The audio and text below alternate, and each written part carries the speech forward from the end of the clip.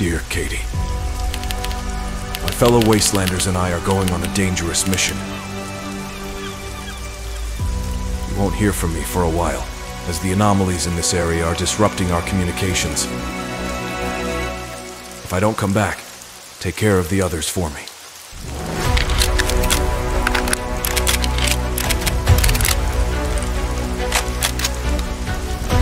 This is a fetch and exfil mission.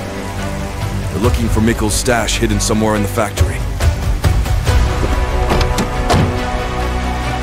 Our team will infiltrate the factory building. There will be a guard on a sniper tower.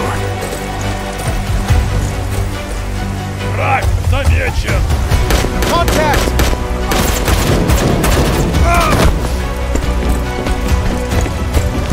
Check corners. Clear. Get you! Rolling flashbang!